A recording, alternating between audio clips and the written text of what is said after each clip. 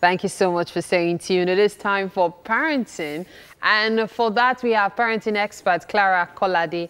Uh, she has many years uh, of experience as a certified etiquette trainer.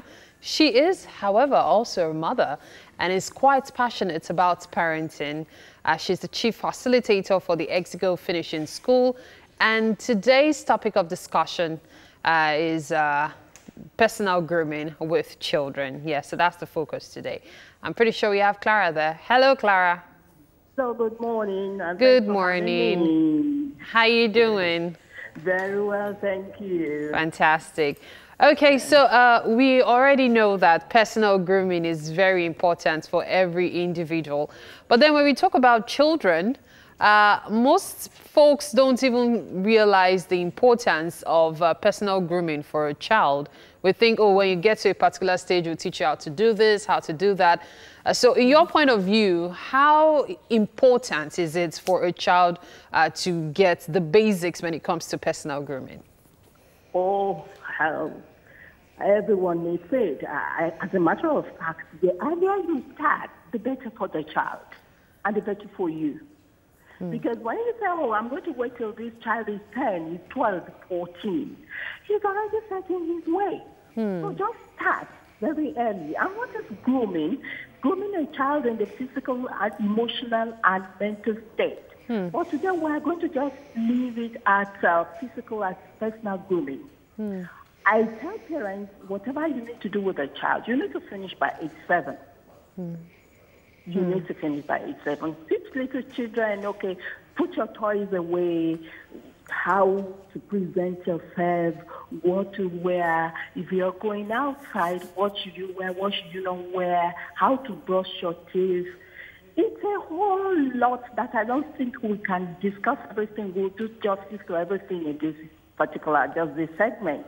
Mm. You need to teach the child, okay, proper, for instance, posture for a girl, for a boy. If you sit, you sit properly. You don't need to slouch. You teach um, reading culture. You teach um, social skills. You teach um, simple dining etiquette, how the child should behave around food, around the table. You teach the use of cutlery. So that when the child gets into a larger society, they know how to conduct themselves. Mm. Actually, you even teach healthy lifestyle.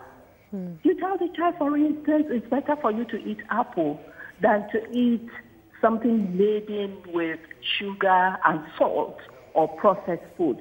It's a whole lot of things. You teach the child, for instance, you need to, when you come back from school, you take your shoe to the appropriate place and brush it and keep it neat. It's, it's so lengthy. You, you even start, for instance, the physical. You need to teach the child how to brush his teeth. That is up and down stroke. And he cleans his tongue. And he cleans it properly. And he makes sure that he washes and washes his face where his dress should be neat and all that. Because if you are not neat, you are offending the next person and you may not know. Because if all, all, all, all of us we decide to be dirty, this society will be in a, in a trouble, we'll be in big trouble. So it's very necessary to teach these things early. Mm. Teach the child to uh, domestic chores. Take your plate to the kitchen when you finish eating. Mm. Even when you have help at home. Let the child learn these basic skills. Mm. You need to uh, tidy up the table. He wakes up in the morning, let him lay his bed. Hmm. It's not going to kill the child. Hmm. Let him take his towel back to the hanger, not leave it on the bed. Wet towel on the bed. Hmm. Let him know that he should change his socks on a daily basis. It is very important and teach the child reading culture. I can stay on this, the reading culture for the whole day, and I'm not going to exhaust it. I get young parents who tell me, oh, the children are trouble. They always say, I'm bored, I'm bored. Teach the child reading. Teach the child whether he should do topical reading, reading or maybe wisdom. Mm. Hmm. Teach the child character reading. Maybe hmm. there's a particular person in the society that he would want to be like. Let the child read. Teach the child how to read autobiography depending on the age of the child.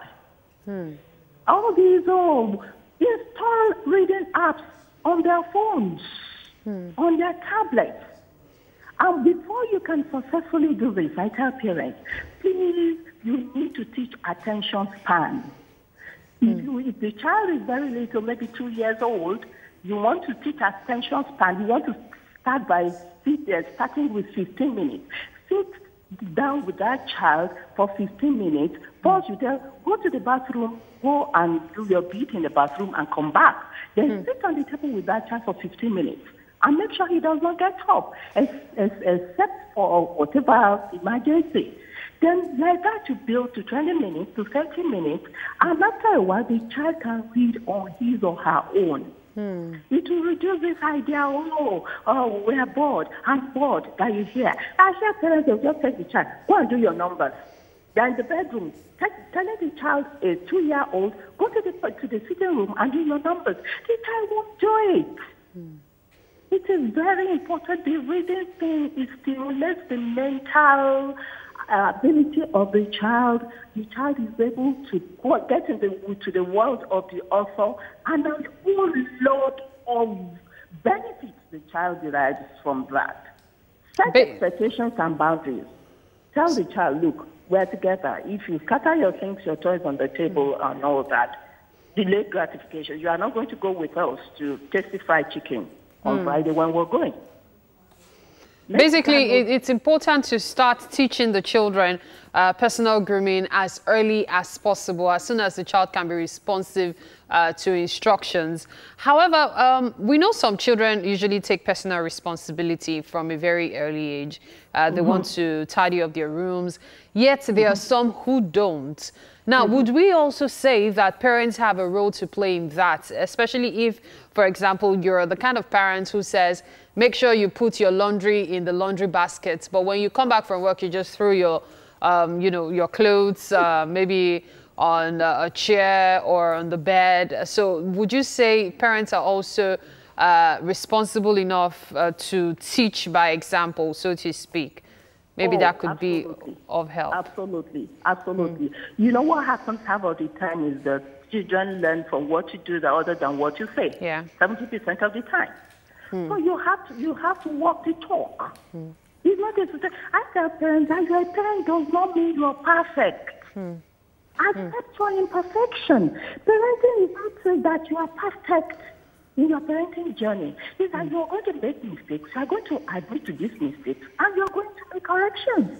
Oh, well. You can't come from work and you, you're, you're a father, you carry your jacket, you just throw it, your socks in, in some place, your shoes in some place, your wife is literally picking things after you. After you. And so in that case, your children feel, well, mommy can pick up after us. Well, uh, Clara, it's been very enlightening. I must thank you very much for your time. Thank you so much.